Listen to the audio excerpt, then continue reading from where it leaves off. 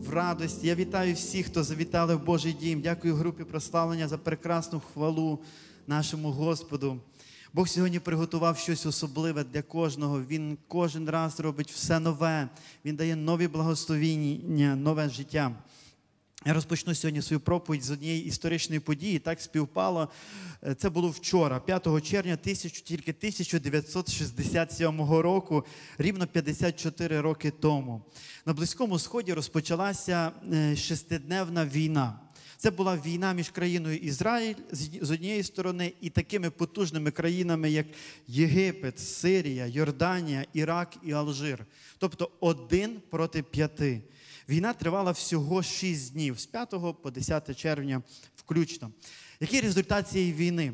Ізраїль захопив в два рази більше території, як він мав до початку війни. Сирія втратила голландські висоти, Єгипет втратив Сінайський півострів і сектор Газа, Йорданія втратила західний берег річки Йордан. Якщо брати кількість військ, озброєння, е, військових людей, то взагалі сили були нерівними. Порівняно з цими п'ятьма країнами, Ізраїль мав ну, такий мізер, е, що було. Окрім того, Ізраїль він був з моменту свого проголошення, проіснував всього 19 років. А наступали країни, які мали потужні армії, потужний флот, повітряний, так і е, морський. І ініціатором цієї війни був не Ізраїль. Хочу забігти наперед. Е, За багато місяців до того, начебто, для того, щоб не було агресії зі сторони Ізраїлю, було підтягнуто війська з усіх сторін, як знизу, так і справа, так і зліва. Ось у нас є картинка. І його зажали з усіх сторін, і вони стояли війська ворожих країн на п'ятиминутній готовності пишуть. Тобто за п'ять хвилин Ізраїль міг бути стертий з лиця землі і все. І що такого, як вдалося Ізраїлю відвою... не просто, я скажу, вистояти, а піти в наступ і завоювати скільки територій, незважаючи на те, що він програвав по всім фронтам. Ключом до цієї перемоги була операція Мокет. З івриту на українській називається фокус. Це була повна раптовість е, удару, який наніс спершу Ізраїль. Вона була завдяки такому тісному взаємозв'язку розвідки ізраїльської і повітряних сил. Трошки про хід подій. Я думаю, буде цікаво. Самого ранку, 5 червня, о 4 годині ранку, Е, Близько 40 літаків Ізраїля вони облітали свою територію, як робили це кожен ранок до того. Тому це не викликало ні в кого ніяких підозр. Вони дивилися, Ізраїль облітає свою територію по кордону. Вони один круг прийшли, другий, третій. Якщо не помиляюсь, на четвертому крузі вони пішли в море. І зі сторони Олександрії вони зайшли в Єгипет і скинули снаряди на всі злітні смуги, ключові військові Єгипту. Так само вони вдарили по всіх е, злітних смугах Йорданії е, і Сирії. І прилетіли, дозаправилися, полетіли знову і скинули снаряди вже на літаки, які стояли в готовності наступати, але не могли злетіти, тому що були зруйновані вже всі злітні смуги. Завдяки після цього почався масовий наступ при підтримці з повітря, і через шість днів ці всі країни вийшли з тим, щоб підписати мирний договір. Вони заявили про свою капітуляцію в наступі. В чому був секрет? Ізраїль, маючи точні дані, він пішов на випередження. Можливо, це було за годину, можливо, за дві години до наступу вони пішли на випередження. І завдяки цьому їм вдалося виграти цю війну, відстояти свою землю і завоювати набагато більше. Нам важливо не просто знаєте, в нас всіх є духовні війни. Наш ворог це не люди. Ми не ведемо фізичних війн, ми ведемо духовну війну. І написано: ворог наших душ, диявол, він ходить, як рикаючий лев, і постійно намагається когось погубити. І ми, християни, часто ведемо війни проти нього. Ми молимося за ті проблеми, які прийшли, за хвороби, за залежності. А як щодо того, щоб йти на випередження? Як щодо того, щоб наступати? Послухайте, якщо ми вже стали на шлях істини, я скажу так, то диявол ніколи нас не залишить в спокої. Він буде або він буде нас давити, або ми будемо наступати. У нас два виходи: або відбиватися постійно, або наступати. Я думаю, правильно вибрати наступати. У нас сьогодні закінчується серія проповідей на тему служінь. Ми поговоримо про ще одне служіння, яке в нас є на домашніх групах в церкві. Це про служіння молитовників. Я хотів би, щоб ми поглянули сьогодні трошки з іншої сторони. Нещодавно читав, Іона так молився, що кита стошнило. Хочеш жити, вмій молитися. Тому будемо сьогодні вчитися молитися. Е, І тема проповіді молитва на випередження, так як е, ну, від- відноситься цієї історії, про яку ми говорили. Я хотів би, щоб ми зупинилися сьогодні за браком часу лише на трьох молитвах. Я думаю, це одні з головних молитв, які ми маємо кожен звершувати. Не тільки молитовники, а кожна людина. І перша молитва на випередження за нашу благословену країну, за Україну. Давайте відкриємо перше місце, це друге царів, шостий розділ з 8 по 12 вірш. Написана така історія. Знову про Ізраїль. Цар Сирії воював проти Ізраїля. Він радився зі своїми слугами, пропонуючи: на такому-то місці я. А Єлісей послав до царя Ізраїля, остерігаючи: стережись, не йди в те місце, бо там Сирія притаїлась. І послав цар Ізраїля в те місце, про яке йому сказав Єлисей, і стерігся там того місця не раз і не два. І заворушилося, душа царя Сирії через цю справу. І він скликав своїх слуг і сказав їм: не сповіщайте мені, хто видає мене цареві Ізраїля. І сказав один із його слуг: Ні, мій володарю, царю, бо це пророк Єлисей, який в Ізраїлі сповіщає цареві Ізраїля всі слова, які ти говориш у кімнаті своєї спальні. Історія про те, як один з царів він хотів захопити землю Ізраїля, схожа ситуація, про яку ми говорили. І він спланував, розробив стратегію, план, засідку, з якої сторони напасти, поставив людей. І як він хотів це зробити, виявляється, а в Ізраїлі вже всі про це знають. Це не новина для них. І це було раз, другий, і він, ну, написано, заворушилася душа його, таке цікаве слово українське. Він стривожився, як це, як це трапляється, хто шпіон, він зібрав своїх слуг. І виявляється, є одна людина, взагалі не шпіон, взагалі не військова людина, але людина, яка має відносини з Богом. Один пророк Єлисей, він рятував не один раз, він рятував багато раз всю землю Ізраїля від нападок. Хоча Ізраїль тоді вже був досить не в хорошому положенні перед Богом. Вони вже почали відступати. Цей цар вже був нечестивим царем, але на землі Ізраїля був пророк, була людина в відносинах з Богом. І завдяки цьому Господь благословляв, Господь не допускав проблем, які могли приходити. Я хочу сьогодні сказати, е, якщо тоді успіх і перемоги залежали від однієї людини, яка мала пророчий дух, то наскільки сьогодні Господь хоче і може благословляти нашу землю, нашу Україну, якщо ми, як діти Божі, ми, як люди, які в відносинах з Богом, будемо молитися, будемо благословляти, будемо думати не лише про себе. Єлисей міг сказати, я з Богом ходжу, в мене є служіння пророка, і на цьому все. Ні, він зрозумів, що якщо він на цій землі живе, то в нього є відповідальність за територію, на якій він живе. Послухайте, в нас є відповідальність як в церкві за територію, на якій ми живемо. І ми маємо благословляти нашу країну. Я хотів би сказати в ракурсі цієї проповіді не просто молитися за потреби, які зараз в нас є.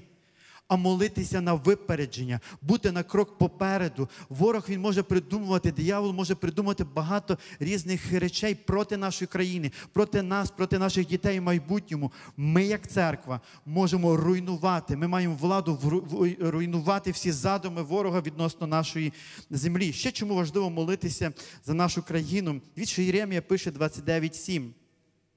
И заботьтесь о благосостоянии города, в который я переселил вас. И ключевое, и молитесь за него, Господу, ибо при благосостоянии его и вам будет мир. Інший переклад говорить, при его благополучии и у вас будет благополучие. Біблія говорить, що наше благополуччя напряму залежить від благополуччя країни, міста, в якій ми живемо. І для того, щоб було благополуччя, що сказано? Моліться. Моліться за своє місто, моліться за свій город, і при його благополуччі ви будете мати благословіння. Наступну суботу в нас є чудова можливість приєднатися до молитви в палаці спорту. Це молитва вже декілька років проходить, і ми там будемо звершувати молитви за нашу країну. Я вірю, це буде благословінням для кожного, хто відвідає цю молитву. Друга молитва на випередження за наших рідних і близьких. Буття 20... 32, 24 по 26 вірш написано: Тож Яків залишився сам. Якийсь чоловік з великої букви, помітьте, написано, боровся з ним до ранку.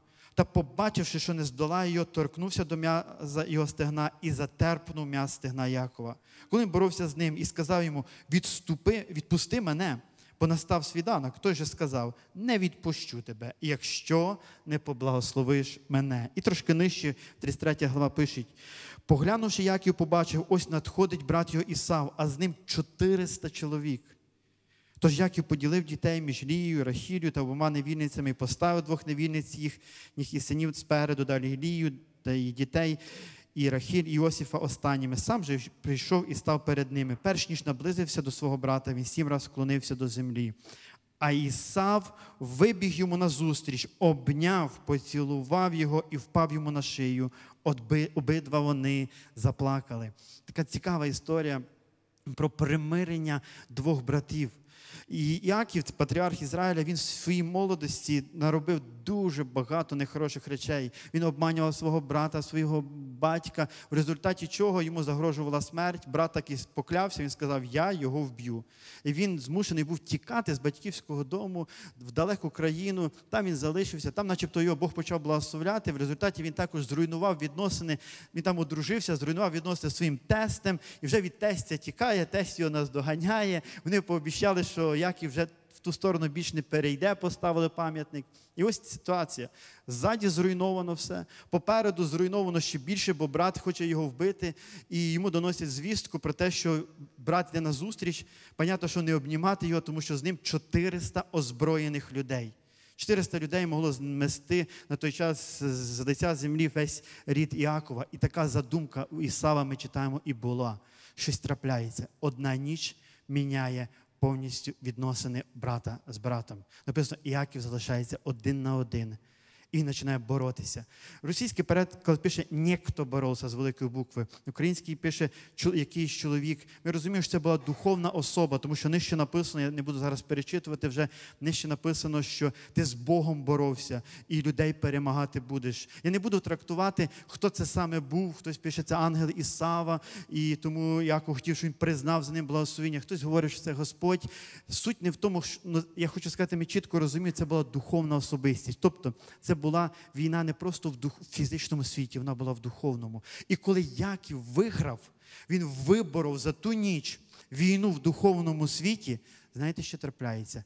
Ситуація рішається в фізичному. Брат відкидає зброю, біжить, обнімає, цілує. Послухайте, ворожнеча багаторічна і рішення людини вбити в одну ніч повністю міняється. Що відбулося? Щось відбулося в духовному світі. Ми так часто воюємо з плоттю і з кров'ю. Ми можемо воювати. Ворог намагається нас налаштувати проти нашого брата, проти сестри, проти чоловіка, проти жінки. Нам спершу потрібно вигравати в духовному світі. Нещодавно в мене був конфлікт з одним з моїх служителів. Уявіть собі, я взагалі не конфліктна людина. Для мене бути з кимось не в мирі це, ну, це, мабуть, одне з найважчих. І тут він підійшов до мене, почав розказувати про свій конфлікт з кимось. І я ж так, знаєте, такий, типу, розумний, наче йому розказую, що треба поглянути з другої сторони цю ситуацію. В результаті я також став винним, і розмова була така дуже довга, важка. Ми розійшлися на таких дуже підвищених нотах. І я приїхав додому, думаю, що трапилося? Я ж хотів добра. Це така прекрасна людина, так служить Господу. І я почав молитися, і мені Господь прямо говорить: в цієї людини ситуація не рішена в духовному світі, там конфлікт в духовному світі. А ти намагався вирішити в фізичному. І ти тільки усугубив те, що в фізичному вирішував. На тобі відповідальність вирішити спочатку в духовному. Я встав, я почав молитися, я почав приміняти ту владу, яку дав Господь, щоб зв'язувати ці духи, які ведуть до розділення, до непорозуміння, до налаштування один на одного. Написано, наша брання проти плоті і крові, но проти духа злоби. Я побачив цю злобу, яка налаштовує один проти одного, та ще я в це встряв. Знаєте що? На наступний день ситуація почала вирішувати вирішуватися, прийшло примирення, і ми маємо прекрасні відносини з цією людиною. Нам важливо воювати не в фізичному, а в духовному світі.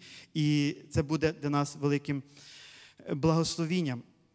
Той день, коли ми починаємо вести війну з плоттю, ми програли, я хочу сказати. Послухайте відкриття, багато, багаторічних конфліктів могли б бути вирішені, якби у нас перед зустрічю була ця ніч в боротьбі, як була в Якова. Це місце написано називається Пенуел. Май свій Пенуел перед важливими зустрічами, і ти будеш бачити, як ситуація буде вирішуватися спершу там, пізніше в матеріальному світі.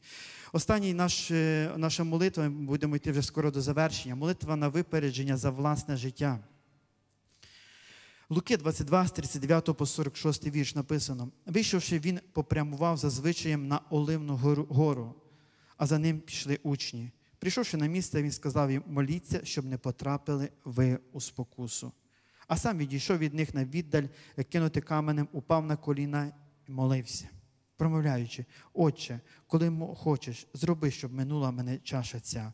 Однак не моя хай буде воля, а твоя. З'явився йому ангел з неба, який додавав йому сили. Перебуваючи в великій тривозі, він ще ревніше молився. Під його став, як краплини крові, що капали на землю. Остав, уставши від молитви, він підійшов до учнів і знайшов, що вони заснули від смутку. І сказав їм: Чому спите? Устаньте і моліться, щоб ви не потрапили у спокусу. І Матфія 26, 40, 41, т- такі слова Матвій зазначає. Повертається до учнів і знаходить, що вони сплять, і каже Петрові: то не змогли ви й однієї години попильнувати зі мною. Пильнуйте та моліться, щоб не потрапили у спокусу, бо дух бадьорий, а тіло немічне.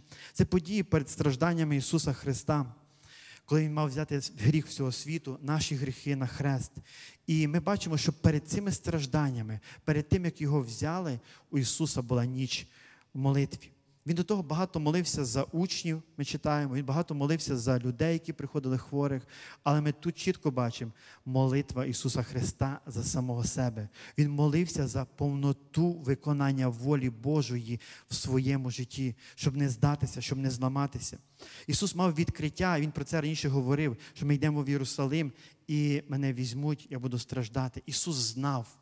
Що його чекає, тому він пішов на випередження. Він пішов, щоб відвоювати це в духовному світі. Моя особиста думка, що ключова перемога Ісусом була звершена не стільки на Голгофі, стільки спершу в Гефсимані. Він тут переміг, він тут прийняв повноту волі, а далі вона вже просто розкривалася. Знаєте, це прекрасно, коли за нас моляться наші близькі, брати, сестри, наші фізичні, духовні батьки. Але є час, є етапи в нашому житті, коли ми маємо самі стати в духовному проломі, ми маємо самі відвоювати щось для свого життя. Я скажу так, чим більше я з Богом, тим більше помічаю, що є речі, які не здвигнуться навіть на сантиметр. Скільки б за мене не молилися, поки я особисто не візьму владу і не почну користуватися, яку дав Господь Ісус. Він довіряє, що ми духовно зростали, а не тільки очікували, що хтось за нас молився. І якщо, можливо, хтось попросив, щоб за нього молилися, взяв з собою людей, а люди сплять, я вам хочу сьогодні сказати, можливо, проблема не в людях, що вони вас не цінять чи не хочуть молитися. Можливо, проблема в тому, що це зараз той час, коли ви самі особисто маєте відвоювати щось у Господа, укріпитися, отримати силу, отримати перемогу. Для того, щоб ученикам перемогти, Ісус каже, Він каже, ви моліться за себе. Для того, щоб їм перемогти ту спокусу, не зрадити Ісуса, не розбігтися, їм потрібно було стояти годину в молитві. Вони проспали. Дуже часто наша молитва особиста це реакція на потребу. Є така поговорка, як тривога, то до Бога. Я сьогодні хочу сказати, дуже багато тривог і проблем могло б взагалі не бути, якби ми молилися до. Написано, моліться, щоб не впасти в спокусу. Пізно е, молитися, волати, кричати, коли ти вже в спокусі. Ісус каже, молися до, веди стабільне молитовне життя. Секрет стабільності життя без потрясінь в стабільності в молитовному житті до проблеми, до того, як вона ще прийшла в наше життя. Ще одне відкриття, ми йдемо вже до молитви. Кількість проведеного часу у молитві має значення. Так зараз можна багато почути, що встановлювати якісь рамки, це закон, ми маємо бути під благодаттю, чисто по вдохновенню. Я за вдохновення, я за те, щоб Дух Святий вів нас. Але ж якщо Ісус, який був наповнений, написано, на ньому була благодать на благодать, сказав, що вам в тій ситуації потрібно молитися мінімум годину, то особисто для мене це означає, що час проведений в молитві, відрізок часу має значення. Не лише слова, які ти сказав, а й час, скільки ти молився. Він говорить, годину моліться, і ви тоді не потрапите в спокусу. Чим більше, е, чим ближче ми до Бога, тим більше Святий Дух буде відкривати, скільки за яку ситуацію потрібно молитися, за якусь 5 хвилин, за якусь годину, а за якусь, можливо, більше. Нам важливо бути послушним. Чому? Ключова місія Духа Святого, одна з ключових написано, Він прийде і звістить майбутнє. Він знає, що попереду. Дух Святий це найкраща розвідка в нашому житті, тому що Він вже там, і Він готує нас якщо ми йому послушні, щоб ми були підготовлені до різних потрясінь, які можуть приходити, щоб ми вистояли. Група прославлення можна пройти. Я скажу так: чим більша спокуса буде попереду, тим більше Дух Святий буде побуджувати нас молитися. Наш Господь переможець, Він не програв. І навіть на Христі Він переміг. Він забрав ключі від ада і смерті. Ми його діти. І Він хоче, щоб ми були переможцями. Для повноти Його перемоги потрібно, щоб ми були укріплені, щоб ми були підготовлені. Господь хоче нас готувати, щоб ми були в стабільності. І я сьогодні хочу подякувати всім молитовникам, які є в нашій церкві. Хто молиться на домашніх групах, вас це ваше служіння. Можливо, ви приходите вівторок на в центральній церкві, є молитовне служіння, і ви молитеся. Знаєте, ваша молитва має велике значення. Ваші молитви це фундамент для перемог нашої церкви туди, куди ми йдемо. Це те, що зберігає нас від всіляких потрясінь. Давайте ми піднімемось. Перед нами буде заповідь причастя. Матфія 26 написано. Потім узяв чашу і, віддавши подяку, подав їм і сказав: Пийте з неї всі, бо це кров моя новозавіту, що за багатьох проливається на відпущення гріхів. Та кажу вам, що віднині не питиму з цього плоду виноградного аж до того дня, коли його знову питиму з вами в Царстві Небесного Отця. Заспівавши, вони вийшли на Оливну гору. Після того, як Ісус дав заповідь ученикам приймати причастя, поки Він не прийде. Він веде їх на Оливну гору і вони звершують там молитву. І там він говорить друге: моліться, щоб не впасти в спокусу. Знаєте, що я зрозумів? Це були дві останні настанови Ісуса. Після того він був взятий від учеників. Перша настанова приймати заповідь, поки він не прийде. Друга настанова молитися, щоб не впасти в спокусу, молитися на випередження. Я хотів би сьогодні, щоб ми, приймаючи заповідь причастя, ми обновилися в тому, щоб бути молитвенниками, щоб ходатисти, щоб молитися і за свою країну, за своїх рідних, близьких, за своє життя, щоб Господь міг вершити чудеса, щоб ми були церквою переможців брати вже розносять, приймають участь в нашій церкві, члени нашої церкви, члени інших церков, хто не на замітці, хто не на вилученні, ви можете брати. Але поки не приймайте, давайте дочекаємось, щоб всі взяли. Написано, чекайте один одного і разом приймемо. Цей час зараз поклонитись Господу, пороздумувати про Його страждання.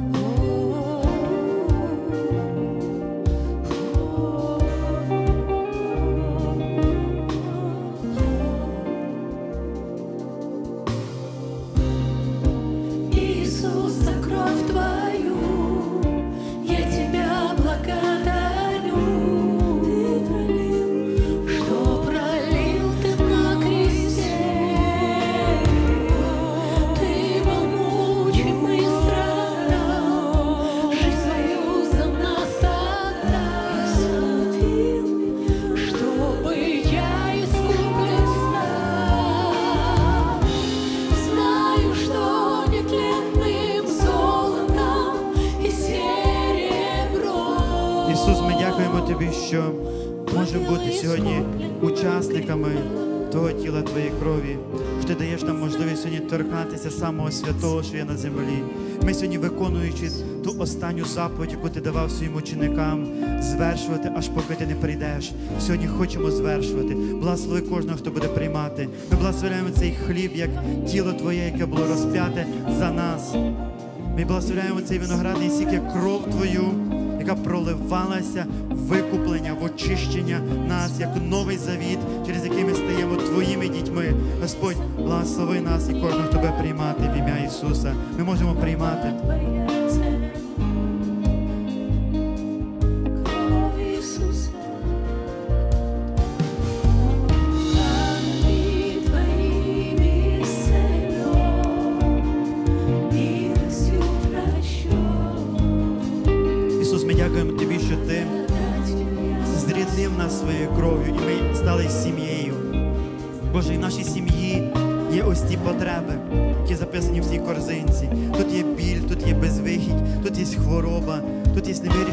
Ситуації. Ми сьогодні просимо Тебе і молимося. Благослови кожного, даруй своє укріплення, даруй своє утішення, даруй свою силу в тому, в кого опускаються руки. Господь, даруй свою свободу, хто молиться сьогодні за звільнення, даруй своє прощення тому, хто погряз в гріхах і яви свою милість. Господь, ми просимо тебе благослови матеріальну сферу, щоб діти твої вони не мали ні в чому потреби. Господь, ми благословляємо особливо спасінням наших рідних і близьких. Нехай їхні двері їхніх серед відкриються, і ти війдеш туди. Господь, ми благословляємо на вирішення кожну потребу і прийми ці всі подяки, які тут записані в ім'я Ісуса. Амінь. І остання моя молитва з людьми, які сьогодні вперше. Можливо, ви не вперше, але ви ніколи не каялися. а Можливо, ви каялися, ви відступили від Бога, втратили з ним відносини. Знаєте, перша битва духовна, яку ми маємо виграти, це битва з гріхом. За грішним життям, за гріхом завжди прийдуть наслідки, прийдуть прокляття. Сьогодні день, коли потрібно піти на випередження. Поки наслідки не прийшли, поки прокляття ще не прийшли всій повноті, зупини це через покаяння, через примирення з Господом. Господь забере твій гріх і твоє прокляття. Хто хотів би покаятись, підніміть, будь ласка, руку. Ми хочемо вас підтримати, помолитися. Бачу вашу руку. Можливо, ще хтось вагається. Ми чекаємо, бачу вашу руку. Не соромтесь, покайтесь. Треба соромитись, грішити. Каятися треба сміливо. Це битва, яку сьогодні потрібно виграти. Дякую за ваші руки. Повторіть, будь ласка, молитву. Господь Ісус, я визнаю, що я грішник. Я прошу тебе, війди в моє серце, очисти його, прости мені все життя без тебе. Будь моїм Господом і Спасителем в ім'я Ісуса. Амінь. Ми вітаємо всіх, хто привіта... покаялися сьогодні. Підійдіть, будь ласка, після служіння сюди наперед. Ми хотіли б з вами познайомитись, подарувати вам подарунок. Нехай Бог благословить вас жити в перемозі.